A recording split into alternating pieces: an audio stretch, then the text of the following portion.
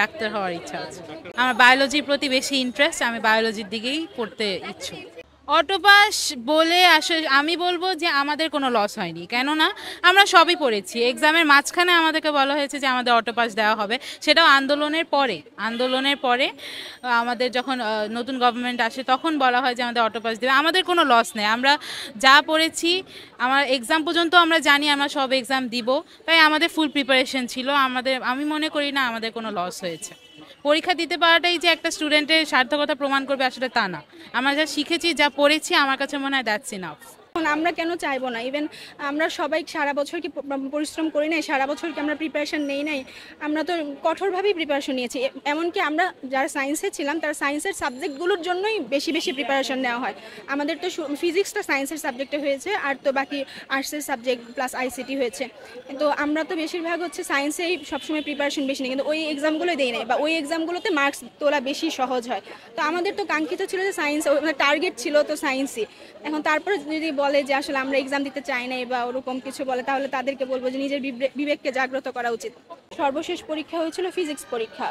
তো ফিজিক্স পরীক্ষার পর থেকে আমরা আসলে আর পড়ার টেবিলে বসতে পারি নাই। আমরা এতটা অস্থিতিশীল ছিল বাংলাদেশের পরিস্থিতি, কোনোভাবেই মানে আমরা, আমার বাবা মা পর্যন্ত মানে ইভেন একবার বলে না যে পড়তে বসো। কারণ ওরাও মানে নিজেরাও ওরা অস্থিতিশীলতার মধ্যে ছিল এবং এত এত ভয়াবহ পরিস্থিতির সম্মুখীন আমরা আসলে কখনো হই নাই। তো তখন আসলে ওই সময় আসলে আমরা পড়াশোনা থেকে একটু বিরত ছিলাম এবং তারপরে কিছুদিন এরকম বিরত ছিলাম। তারপর পাঁচ আগস্টের পর আস্তে আস্তে সব কিছু স্বাভাবিক হয়েছে ইনশাল্লাহ। আলহামদুলিল্লাহ যা হয়েছে, আমি মনে করি ভালো হয়েছে। কি হলে ভালো হতো, কি হয়নি, এটা আমি আসলে এখন মাথায় নিচ্ছি না। আমার কথা হচ্ছে, আল্লাহ যা করছে, ভালোই করেছে। ওভাবে কীভাবে রেজাল্ট ডিক্লেয়ার হবে সাবজেক্ট ম্যাপিংটা আসলে কীভাবে হবে, আমাদের আসলে কোনো ধারণাই ছিল না।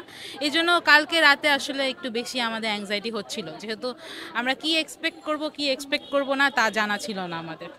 আন্দোলনের মাঝখানে যেটা আসলে, তখন আসলে পরীক্ষা নিয়ে ভাবার তেমন একটা ইয়েই ছিল না আমাদের, যেটা হয়েছিল। কারণ আমরা অনেক চেষ্টা করতাম যে আমাদের কেমিস্ট্রি পরীক্ষা ছিল আন্দোলনের পরে, আমরা অনেক চেষ্টা করতাম যে না, যেহেতু সায়েন্সের পরীক্ষা শুরু হয়ে যাচ্ছে, বসি বসি, টেবিলে বসি। আসলে যতই টেবিলে বসতে চাতাম, মন থাকতো আমাদের মানে নিউজের উপরে, কে মারা যাচ্ছে, কে কি হচ্ছে। তখন তো দেশে একটা খুবই বাজে অবস্থা ছিল। যতই চেষ্টা করতাম যে আজ মন দিয়ে পড়ি, আসলে হতো না। আসলে এই বিষয়টা তো আসলে অনেক কঠিন একটা বিষয়। এটা আসলে যতটাই চেষ্টা করা হলো যে সিদ্ধান্তই নেওয়া হতো না কেন, সেই সিদ্ধান্তই আসলে কিছু না কিছু ত্রুটি থেকে যেত। হয়তো এই সিদ্ধান্তে ত্রুটির হারটাকে কমিয়ে আনা হয়েছে, যে এই সিদ্ধান্তে হয়- হয়তো বা মানে এক দুই পার্সেন্ট ত্রুটি আছে। কিন্তু অন্য সিদ্ধান্ত নিতে গেলে দেখা যেত আরও বেশি ত্রুটি দেখা যেত আরও বেশি সমস্যার সম্মুখীন হতে, হতো। এখন পুরোপুরি যখন একটা সমাধানে আসা যায় নাই মানে একশো পার্সেন্ট ঠিকের মানে সবগুলো পরীক্ষা হলেই এবং আন্দোলন না হলে সব কিছু স্বাভাবিক থাকলে ওটা একশো পার্সেন্ট একুরেট একটা জিনিস হতো কিন্তু যেহেতু একুরেসি আনা যাচ্ছে না, তার মধ্যে এটাই সব থেকে হয়তো বা ভালো মাধ্যম ছিল বা এটাই সব থেকে ইজিয়েস্ট সুন্দর মাধ্যম ছিল আর কি।